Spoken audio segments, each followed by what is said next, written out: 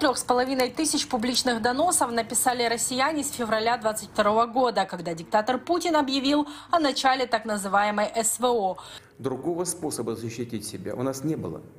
Журналисты издания «Важная история» изучили данные в открытых источниках и утверждают, что на самом деле доносов может быть гораздо больше. Если смотреть на процент количества э, доносов и жалоб к каким-то последствиям, скорее всего, конечно, он будет больше и выше у публичных доносчиков. Почти каждое там высказывание Екатерины Мизульной там чем-то заканчивается. У анонимных, э, анонимных телеграм-каналы они скорее берут числом, потому что они прям регулярно в огромных количествах доносов пишут и что-то приводят в итоге к результатам.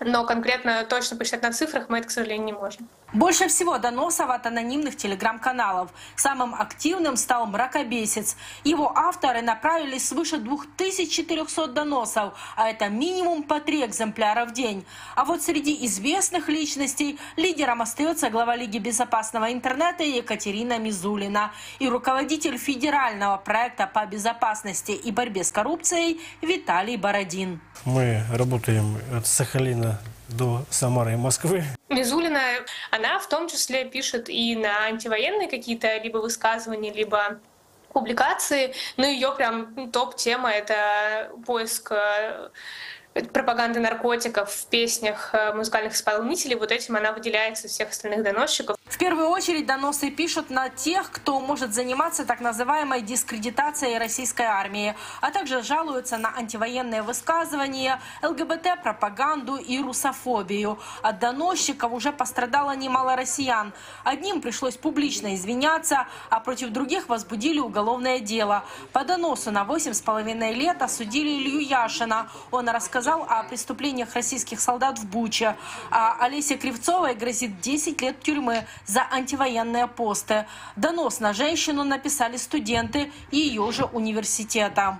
В старшей возрастной группе, к которой я, например, отношусь, там э, доля осуждающих, отрицательно относящихся к доносам очень высока. Там она к 90% приближается. Потому что доля помнят. равнодушных очень мала. В э, среде самых молодых, среди тех, кого мы опрашиваем, это люди от 18 до 24 лет. Это наша первая, так сказать, возрастная э, когорта.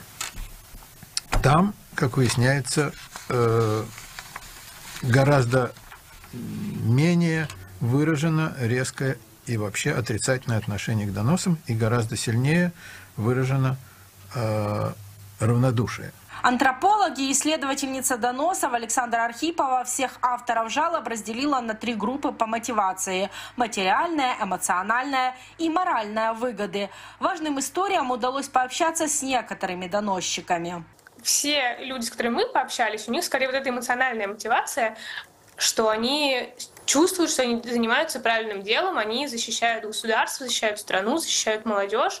По крайней мере, то, что они транслировали, даже не публично, а вот в переписках личных, они писали про то, что они спасают э, Россию там, от западных всяких веяний, молодежь от всяких разрушительных влияний, они как будто бы искренне в это верят, что они занимаются благим делом. Как выяснили журналисты, один из пиков написания публичных доносов россиянами пришелся на август 23 года, когда в РФ приняли закон о запрете смены пола. Еще один на декабрь, когда ЛГБТ-движение было признано экстремистским.